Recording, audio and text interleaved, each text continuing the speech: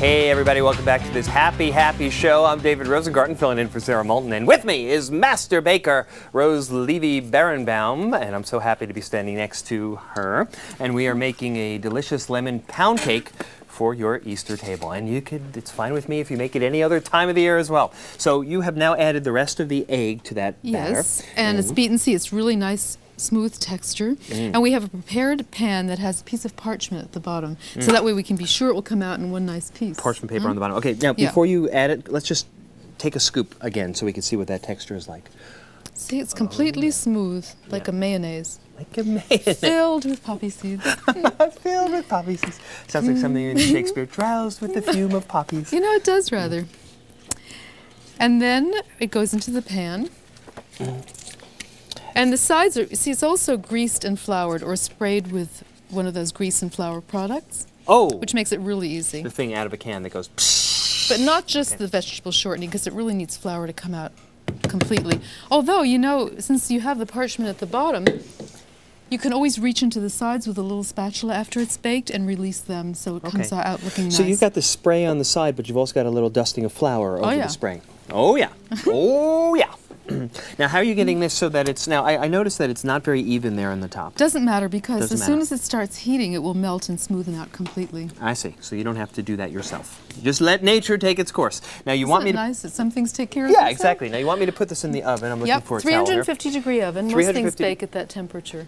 Very nice. That's another little uh, benefit of nature there. 350 degree oven. And toward oven. the middle of the oven is the Towards best the spot middle. for it. Yeah, perfect. meaning uh, middle in well, all not too high, not too low. Yeah. Got it. So air can circulate around it. Okay. Because the top of the oven is hotter, the bottom is not as hot, and so that's why I like to put it somewhere in the middle. Right. What if I were doing this in a convection oven? How would that change things? Well, that's a good question, David, because Thank you. convection.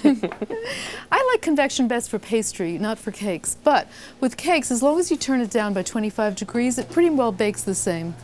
Okay. And another trick is getting a beautiful split in the middle because you are going to get oh a yeah. split. Tell us about that split. I'm taking this out of the oven. That has cooked. How long did you say that has to cook? About 55 minutes. About 55 minutes. The way you can test if it's done is that I put a wooden skew- skewer in the middle Mm-hmm. because this cake can test done everywhere else and still be a little under, underdone in the middle. And if it's underdone, even when you press it and it bounces back, Yeah. it'll be pasty all throughout the middle. I so love- don't underbake. I love the things that you know about baking. I mean, you're like this That's all I think about. You know? scientist, magician, mm-hmm. artist. You know all the things about color and touch and texture. When you do great. this day in, day out for a long time, you get all Yeah, these little tips you know, going. People sometimes say that, that baking is very much a science and kind of a, a clinical thing. Mm-hmm. But when I bake with you, I don't feel that it is. I feel it's that fun. Mm. it's fun too. But mm. you're also touching and you're also observing moment to moment. Mm. And that's one of the things I like about making a sauce. I'm like tasting Speaking as we of go which. along. But oh, speaking of which, you're going to do a little uh, lemon.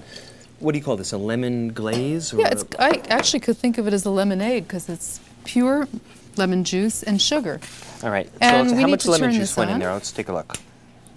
Oh, by the way, um, we're getting On. ahead of ourselves here. How did um, how did how did you Oh, get that attractive split down the middle of the uh, the pound cake? Thank you. I will. All will be revealed as soon as I start heating this thing. Okay. Because um, we need something to stir.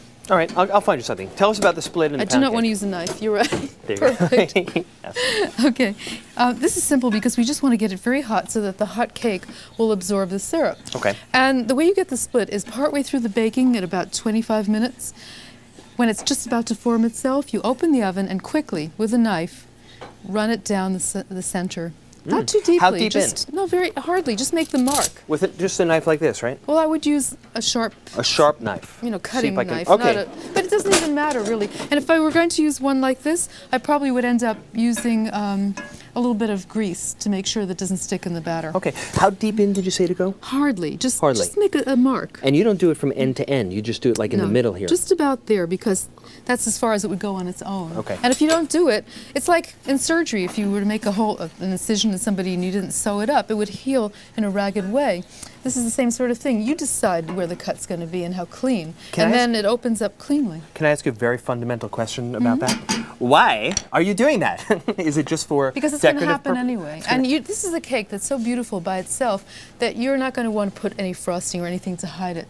So you want it to look as nice as it can. Oh, I see. right? So if you weren't controlling this split in the cake, It it, might like do something jagged- ugly, and you well, want it to be less pretty. attractive. It will Less never be ugly.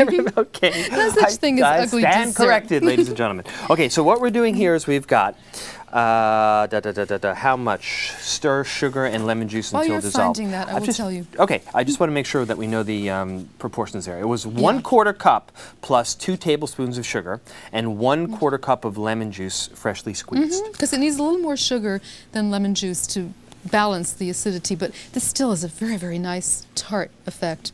Now And- you're taking about half of that, right? Exactly. and I'm taking it. about half. And this is while it's still piping hot. I made holes so it will absorb even better. And then I'll let it sit in the pan for 10 minutes or so because that way it will hold its shape nicely. Then I'll invert it and glaze the rest And of then it. we'll go on. We'll go and back then we to that. glaze further. Sorry. Meanwhile, I think there's uh, blueberry glaze to be made. there's right. glaze aplenty in this in this dish. All right, so tell us what you do with the blueberries.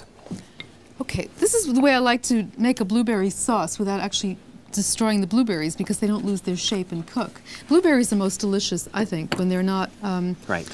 right. Right. when they're not. We, right. we understand. we don't even have to say it. We understand. Okay, so we're putting sugar, And that's a quarter cup of sugar. yeah, and arrowroot. Arrowroot, Now not cornstarch. cornstarch. use but- Why do you prefer arrowroot- arrowroot? Thanks for asking.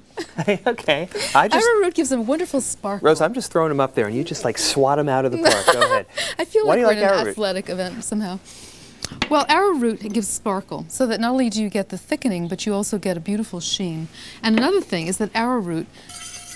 We could, if you actually could do me a favor and turn this Turn on while on? I do it, Sure. things would happen really fast. Gladly. Thank what you. what kind of heat do you want? Hi, High. That high? that's perfect. Pretty high. I, how much arrowroot was in there? Um, You tell me. two teaspoons. I, I will tell you. Whatever was in the bowl. to memorize all two. this? Te- I know exactly how that is. Two teaspoons of arrowroot. Mm-hmm. Okay, and a quarter cup sugar. You've got and a little bit of lemon juice too. And a little lemon juice flavor. and some water. And the beauty of arrowroot is that it One thickens One teaspoon lemon juice. before it comes to the boil. Arrowroot does that. Cornstarch wouldn't do that. Mm-hmm. Right. You have to boil Cornstarch, it. for- you actually boil it for at least 30 seconds because Right. to come to a full ro- rolling boil. If you don't do that, then you get a cloudy sauce. Okay. See, I wanted you to do high simply because that way it will happen more quickly. You want high? Because yeah, high. thank you. Okay. And you can see that the minute it starts thickening, it will get clear. See, right now it's still cloudy. You know what? Oh, we're really close. Let me help you. No, that You may be slowing is, it down. yeah, that Oh. sound is okay. It's grating. okay. So Sometimes it's- you defeat your purpose by whisking something too quickly because you end up cooling it instead of, you know, allowing it to heat. But when you do things on high, you have to be careful because if you don't stir, then it will lump. Right. So, And you are just pre-boil here, and I see that it is starting to thicken. see, yeah. Yeah.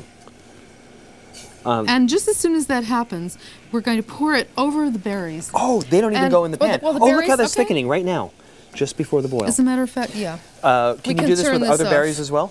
Turn this off. Here we go. Off. No, see, berries, blueberries have a tough outer skin. Ah. What's going to happen? Just well, you'll like- see in a second. All right, we'll put it in You the or pan. me? Either this into the berries or this or the berries into the pan. You or me, what? Tough outer skin. no, maybe uh, maybe me. no, you're tender. I was being polite. So, see how it makes them turn a bright, bright blue, but it doesn't very- cook them. right. And that way you have the best. You have a sauce without having the berries break down. What a great looking thing. And of course, you're going to let great. those cool. Yep, let it cool, and they'll hold together, but not thickly. And th- you won't lose a lot of the, the sauce, but a little of it will drip out, and that's oh, it. I see. And what you're looking for is just a little glaze to cling to the berries. Exactly, because the otherwise excess it's will hard to get it on the fork, you know. Is this Will like a rose right thing? You can, this is not like a traditional thing. Tonight, right. show us all these special rose things as we go along, because there are a million of them. Next, we're making a special rose thing, a cordon rose cheesecake. It's good stuff. You're not going to want to miss it. Come back.